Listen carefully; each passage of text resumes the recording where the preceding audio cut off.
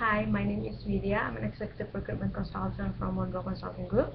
Currently, on behalf of my client, a multinational pharmaceutical company that is looking for someone to fill the reliability engineer position who has deep understanding in system and also has great exposure of total productive uh, maintenance or world-class maintenance with minimum three to five years experiences So if you are qualified, please send your CV to our email. Thank you.